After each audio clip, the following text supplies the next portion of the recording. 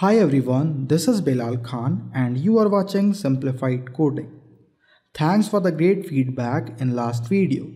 So here's another episode.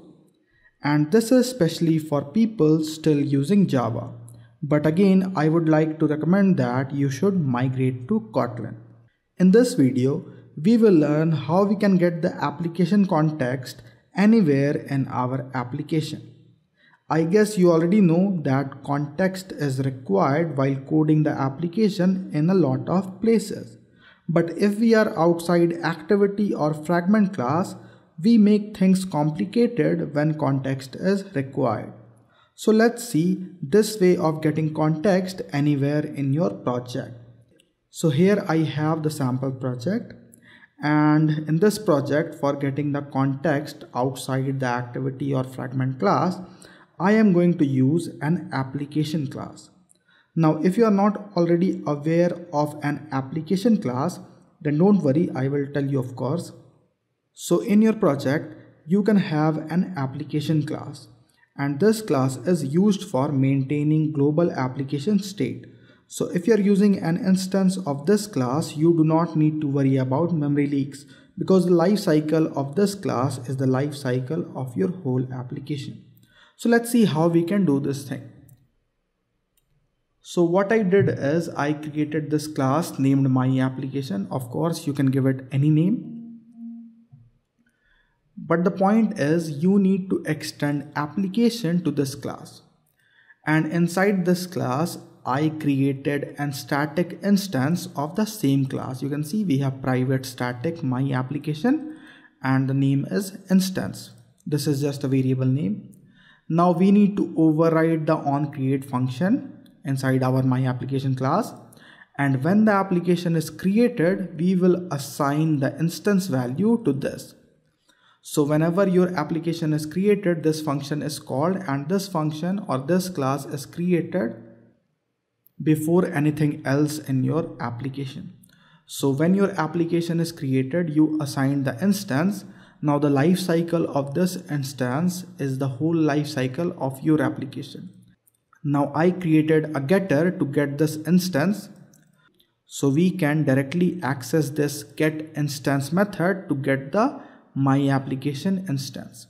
After defining the application class, we need to define this application class inside our android manifest.xml file and to define the application class inside our android manifest.xml we use this android name property. And here we define our application class. And this is very important or else the application class won't work. Basically if you don't define your application class here that class is not at all initialized. So this step is very important. Now our application class is ready and it is very useful. For example, we can create a utils class and inside this class, we can define some static functions or methods for toast, snack bar or alert dialogues. If you had seen my previous videos with Kotlin, then you may remember that I was creating some extension functions for displaying toast, snack bar or alert dialogues. And if we do like this, like if we create extension functions in Kotlin, then we just need to call the function whenever required and it decreases our code significantly. But extension functions are not possible in Java. So we can use this way.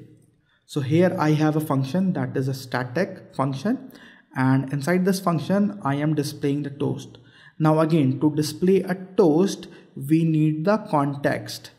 And here we are getting the context using our main application class that is my application and we are calling the function get instance.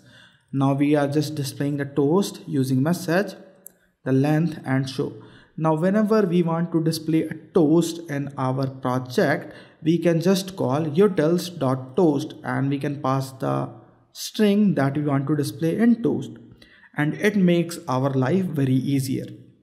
The same way we can create snack bar but to display snack bar we need view and the message.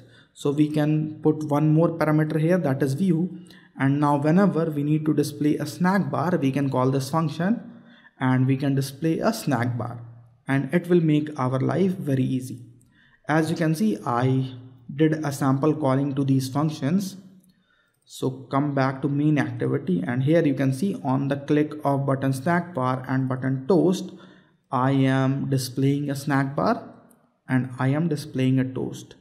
So I think this is a better way of handling toast and snack bars in our application. You can create many methods using the same way. For example, you can create alert dialogues. The point is now you can access this my application in any of your classes. As you can see this utils class is a normal class. It is not an activity or fragment. But still we can access the my application context here. So this is what i wanted to tell you in this video. I hope you found it helpful.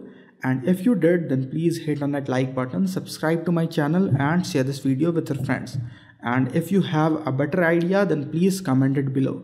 Thanks for watching everyone. This is belal khan now signing off